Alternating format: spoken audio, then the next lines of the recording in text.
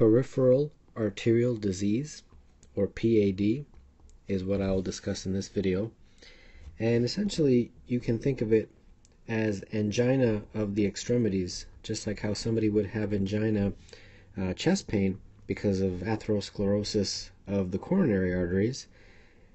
Peripheral arterial disease involves atherosclerosis of the lower extremities, and this causes ischemia, and the ischemia eventually leads to pain. Now, I wanted to talk uh, about the etiology. Etiology of peripheral arterial disease is essentially the same etiology for coronary artery disease, and those things include increased age, high blood pressure, diabetes, uh, high cholesterol levels, smoking, positive family history for this type of a condition, and obesity as well. So the same reasons why somebody would have coronary artery disease, same reason why someone would have peripheral arterial disease. So now let's talk about the symptomatology. Essentially what you get is this intermittent claudication. And this is basically saying that it comes and goes. And this term claudication is referring to the pain.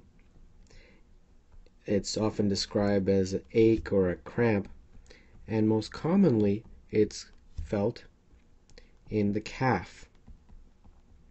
Although it can also be in the feet or in the thigh or in the buttocks.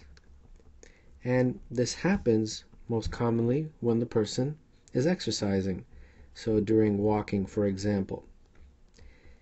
And this is the hallmark that you have this exercise induced reversible ischemia. So when the person stops, the pain goes away. In addition to the symptoms, there's other things that you can notice before you do any diagnostic testing. On physical exam, you can definitely palpate for diminished pulses. And the pulses may be diminished or, in severe cases, even be absent. And you can palpate the popliteal area or the dorsalis pedis pulse uh, to feel for diminished pulses, which is a sign of impaired blood circulation. The legs or the feet, because of poor blood circulation, may also feel cool. And something that can also happen in severe cases of peripheral arterial disease is the development of ulcers. Diagnosis. Well, by far the most common test, or most important one, is something known as an ankle brachial index. And I'll describe what this is. Basically, what you do is you measure the blood pressure in the arm and in the ankle. And then you take a ratio of the systolic numbers in the ankle over the ratio of the systolic blood pressure in the arm. And if this number is less than 0.9, then that is positive for peripheral arterial disease.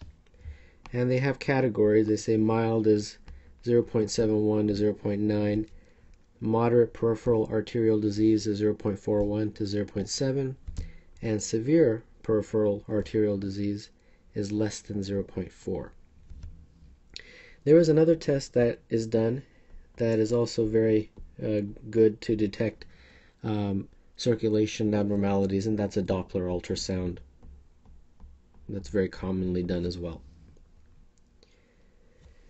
Treatment well, there's a multi step uh, treatment uh, really involved. The first thing is try to help modify the risk factors, such as stopping smoking, uh, controlling the conditions that are contributing, such as high blood pressure, diabetes, high cholesterol. The next is exercise. That will definitely help improve the circulation.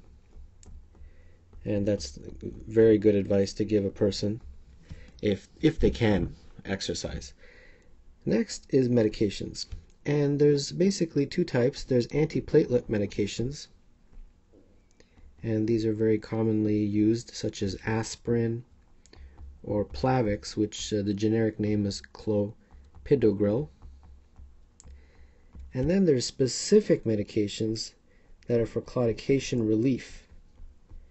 And of those, the best one is cilostazol, very commonly used. So remember that. And if it is very severe peripheral arterial disease, then you have to go in and either place a stent or do some sort of surgical procedure to help the situation. Clinical vignettes now. 73 year old woman comes to the office because of crampy leg pain experienced over the past six months while walking her dog. Pain is only present during exertion and is relieved at rest. She had stable angina for the past 20 years. She smokes one and a half packs of cigarettes a day. She does not take any meds. Blood pressure is 130 over 90, pulse is 75. Physical exam shows diminished femoral pulse on the right leg compared to the left, absent popliteal and pedal pulses on the right leg. There's no hair below the knee on the right leg. Skin is shiny and smooth, toenails are thickened. Neurologic exam is unremarkable. The ankle to brachial artery pressure ratio is 0.7. A Doppler device shows decreased blood flow to the right leg. You should. Well, this is a classic clinical vignette talking about peripheral arterial disease. Very first thing I would do is modify her risk factors. So smoking, definitely, and I would ask her to start exercising. So choice A. Next one. 59 year old man works as an accountant in a high rise building. For many years, he habitually descended the 26 stories to the street at 10:30, noon, and 2:30 to smoke a cigarette and take a walk that lasted about half an hour. He figures walking is good for his health. However, starting a month ago, he started to gain pains in his calf that made walking difficult. These pains have become progressively worse, limiting his walks to just a few minutes, before he had to find a place to sit and rest. He also found it hard to climb stairs at home to go to bed. Sometimes he only managed three or four steps before he obliged to sit and rest. Worried, he consulted a physician who examined him and arrived at a tentative diagnosis. Which of the following choices best describes the first test the physician most likely performed to verify this diagnosis? Well, most likely has peripheral arterial disease, and the very best test to do is an ankle to brachial index, and that would be choice D. And the number should be less than 0.9 to make a diagnosis of peripheral arterial disease. And finally, 55 year old man with mild to moderate hypertension, 35 year pack uh, smoker, diagnosed with peripheral vascular disease of the lower extremities, complaining of deep aching pain of the calves during walking. On exam, although the pedal and posterior tibial pulses are not palpable, the skin overlying the feet is reasonably well nourished. After various vascular studies, the vascular surgeon was consulted, and she felt that there was no solid indication for a surgical procedure. The patient and his family physician agree that the patient will make definite changes in his lifestyle, most significantly, will stop smoking. Which of the following would be the best Pharmaceutical choice for medical management of the patient's claudication of the legs. Claudication relief is a big part of treatment of peripheral arterial disease, and the very best medication for that is cilostazol, which would be choice A.